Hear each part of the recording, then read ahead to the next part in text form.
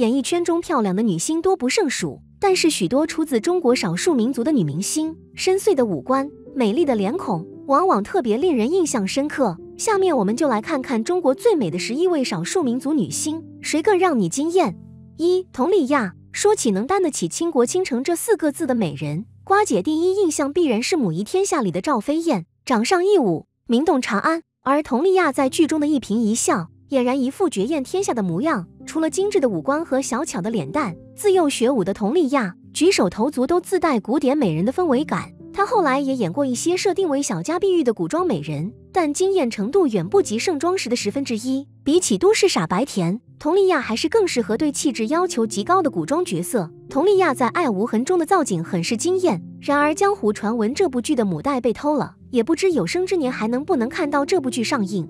二热依扎在因为《甄嬛传》而受到关注前，热依扎其实已经演了接近五年的戏了。她的轮廓流畅，五官饱满，气质独特。一双眼睛故事感十足，颇有几分文艺风。只是成名后，围绕着她的不是对作品和演技的讨论，而是对她身材、穿衣方式的争议。热依扎也曾深陷抑郁泥淖，直到《长安十二时辰》和《山海情》的热播，才把大众的目光重新拉回了她的本职。《山海情》里热依扎落泪的场景，算不上美丽，却让人共情，红了眼眶。正是因为如此，他在《白玉兰》中惜败三十而已里的童谣，才让人万分可惜。官宣生女后，热依扎的气质除了凌厉，也多了些许温和，这让她变得更有成熟的魅力。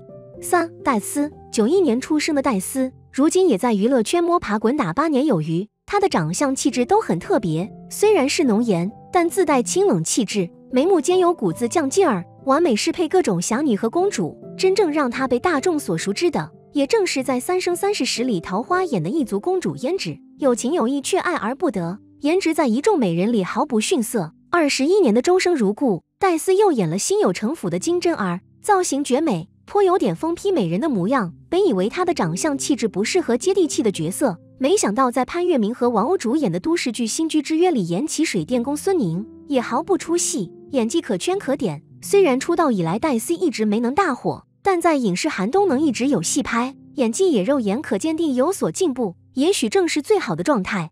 四迪丽热巴，内娱神颜迪丽热巴是当之无愧的女顶流，她也绝对当得起神颜二字。少女时期虽然没有完全长开，气质偏向清纯，但几乎无死角的五官已经能看出日后的模样。而成年后的她，褪去青涩，变得光芒四射，绝佳的身材更是让她多了几分妩媚的风情。两次出演女明星高雯和乔晶晶，完全不同的人设，一个娇憨，一个清醒，但其中都能看出她自己的影子。每每出现在红毯上。迪丽热巴更多次凭借绝美造型成为艳冠群芳的存在，出场就自带高光，影视综全面开花，堪称劳模。她用行动向大家证明自己绝不仅仅只是长得好看。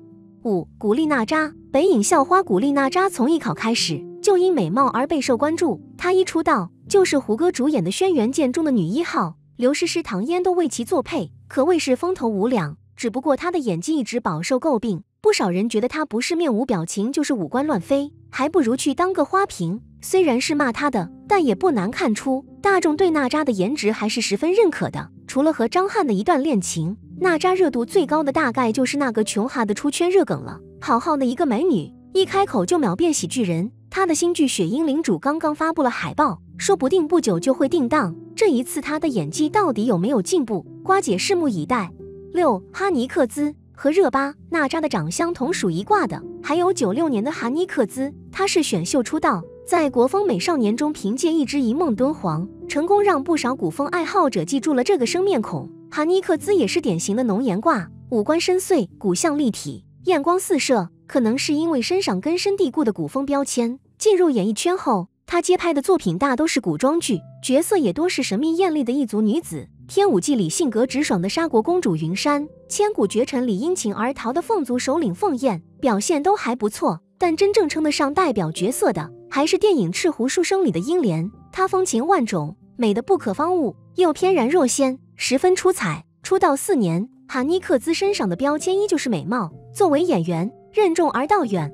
七蒋欣，没想到华妃娘娘蒋欣也是出身回族的大美女。她的颜值在娱乐圈可是十分抗打的存在。或许会有人觉得她有一点点胖，但从来没有人质疑她不好看。最开始认识蒋欣的时候，是她在《天龙八部》中出演穆婉清这一角色，清丽脱俗，让见过不少美女的段誉都一见倾心。众所周知，这部剧全员美女，而蒋欣能靠颜值突出，重为被观众记住，可见有多好看。蒋欣的美，让她出演仙女这一角色都无人质疑。在《欢天喜地七仙女》中，蒋欣出演古灵精怪的绿儿，剧中她在天空中飞然后回眸的一幕，不知道惊艳了多少人。直到现在看到那一幕，还是会被她的颜值所倾倒。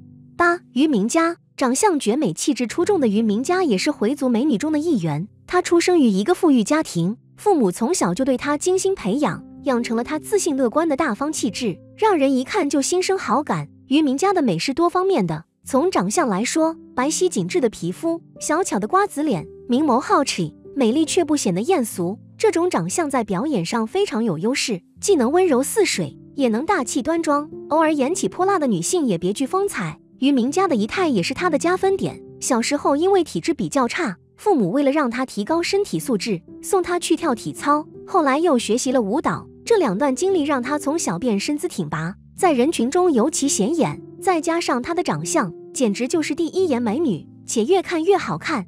九金晨，让很多网友意外的是，金晨也是回族女星，这一身份可是少有人提及。其实这也正常，毕竟在很多人的印象中，相比于他的民族，他们对他舞者的身份更为关注。金晨是学舞蹈出身，曾在著名的舞蹈比赛中获得优异的成绩，是被记录在教科书中的存在，人生履历闪闪发光。他回族的身份自然没有那么多人注意，在《乘风破浪的姐姐》中跳起舞的金晨就像是青铜局中的王者存在，根本没有别人能和他相提并论。金晨的颜值在娱乐圈中也是数一数二的存在。她身上有股拽拽的御姐气质，如果是不熟悉的他人，会觉得她全身都在散发生人勿近的高冷气场。只有了解金晨的人才知道，她就是妥妥的搞笑女，笑起来毫不收敛，张扬明媚。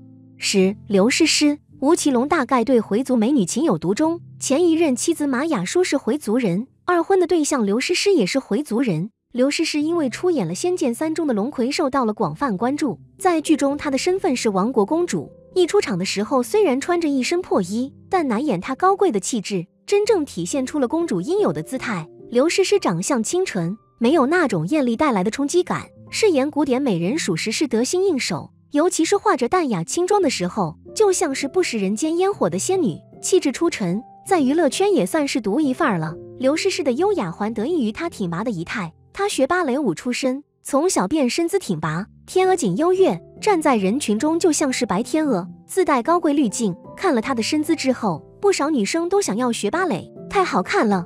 十一，李兰迪，九五后小花李兰迪是回族美女，在娱乐圈的新生代表。因出演电视剧《你好旧时光》中的女主于周周一角，受到了观众的广泛喜爱。很多人至今都对她有于周周滤镜。李兰迪的长相在娱乐圈称不上大美女，但胜在气质独特，阳光照耀在她的脸上。让人一下子想到青春时期初恋的感觉，忍不住心跳加速。不过胖了的李兰迪可就不受人喜欢了。在出演电视剧《梦回》时，李兰迪整整胖了一个圈，脸颊两侧像充气馒头一样膨胀，硬生生将她身上的初恋感破坏没有了。剧中有一个镜头是将她平压在凳子上，李兰迪就像是在雪地上滑行的企鹅，画面十分搞笑。也就是因为这一幕，不少人觉得她不好看。其实只要李兰迪能瘦下来，颜值还是不错的。俗话说，一方水土养育一方人。出生于新疆的这些美人们，大多五官深邃，眉目多情，笑起来如阳光般灿烂。希望各位漂亮姐姐能够多拍戏，拍好戏，以后越来越好。